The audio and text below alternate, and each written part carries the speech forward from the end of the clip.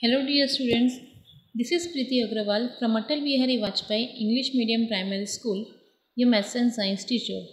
Students, today we are going to start with a new chapter of our science curriculum that is fiber to fabric. Now what do you mean by fabrics? Fabrics are materials used for making clothes, curtains, bed sheets, tablecloth, towels, bags and etc. These fabrics are either stitched manually or with the help of machines to make different items like clothes, bed sheets, pillow covers, towels, curtains, blankets, tablecloths, shopping bags, school bags, carpets, etc. Now, when you look at any fabric, it seems a continuous piece of cloth. But is really fabric a continuous piece of cloth? Students, I want all of you to do this activity at home. At home, you will take a piece of cloth and observe it very minutely.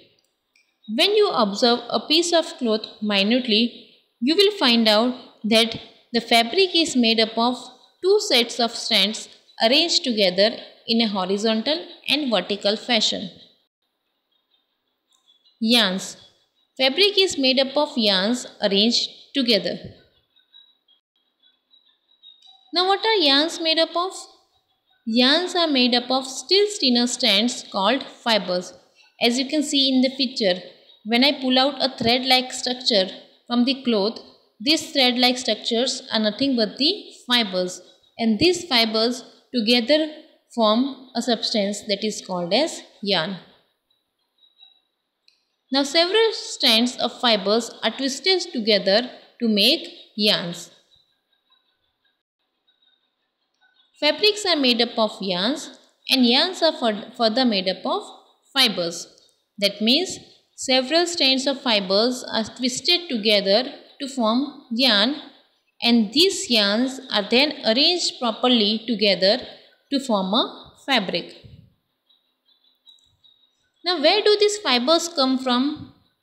These fibers are mainly coming from the two sources that is natural source and artificial or man-made source.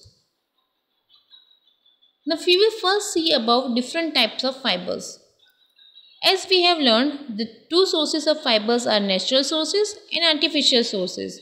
So natural fibers. The fibers which are obtained from plants and animals are called natural fibers. For example, you can see in the flowchart that is cotton, jute and coir are plant nature fibers whereas the natural fibers obtained from animals are wool and silk. Now the next one is the synthetic fibers. The fibers which are synthesized in industry from simple chemicals obtained from petroleum are called synthetic fibers. We will first see about natural fibers in detail. That is, first we will begin with the plant fibers. The most important plant fiber that is cotton.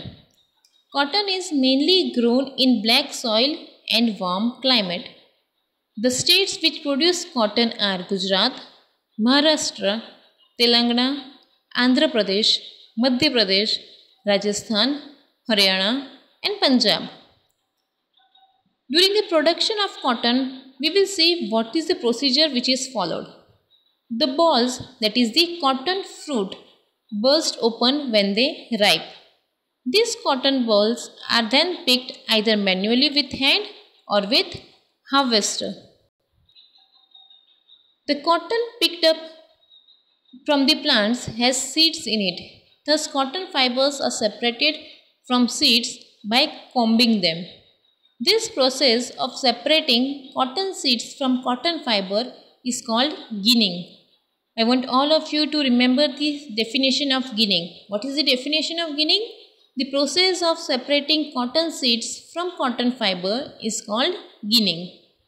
Ginning was traditionally done by hands but nowadays machines are used for ginning. Now the next plant fiber that is jute.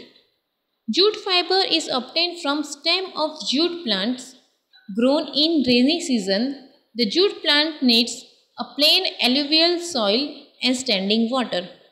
The states which produce jute are West Bengal, Bihar and Assam. The jute plant is normally harvested when it is at flowering stage.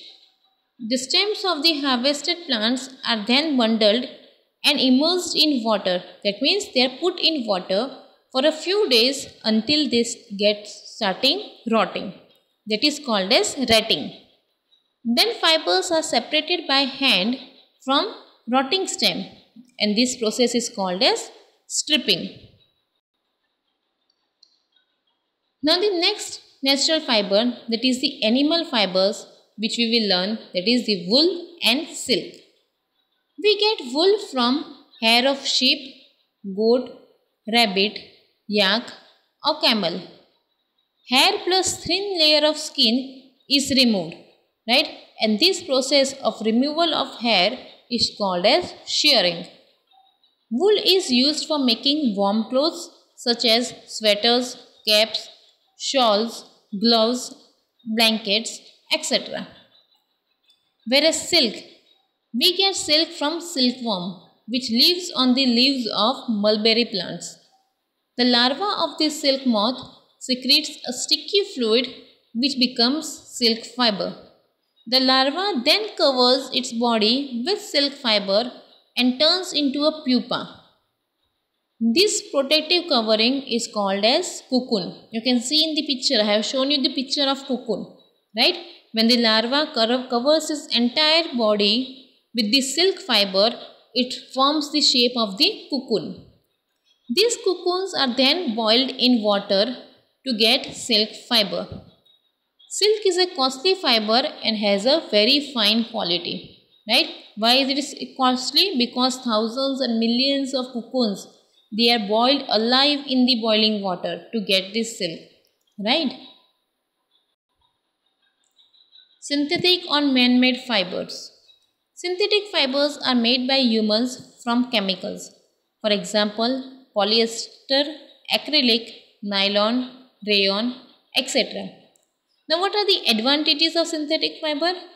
The advantages of synthetic fiber are they are less expensive, durable, readily available that means they are easily available, they dry up quickly, they are easy to maintain, they do not wrinkle easily, they are easy to wash, they are elastic and can be easily stretched out, they are strong and can be used to make parachutes and ropes to sustain heavy load. Now what are the disadvantages of these synthetic fibers? These synthetic fibers melt on heating. So if the clothes catch fire, it can be disastrous. Right? The fabric melts and sticks to the body of the person wearing it. So it may be very dangerous. So what is advised that we should therefore never wear synthetic fibers while working in the kitchen or in a laboratory. Now we have already learned earlier that several different strands of fibers are twisted together to form the yarn. Right? Now how these yarns are formed? That means how fibers are converted into yarns.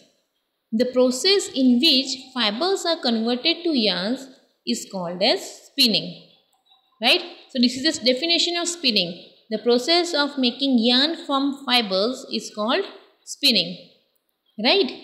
In this process, fibers from a mass of cotton wool are drawn out and twisted. Spinning is done manually with charkha or takli on smaller scale, whereas machines are used for spinning yarn on large scale. Now, conversion of yarn to fabric. Weaving and knitting are the two methods which are used for conversion of yarn to fabric. Right? So we will learn these two methods in detail. The first is weaving. The process of arranging two sets of yarns together perpendicular to each other to make fabric is called weaving.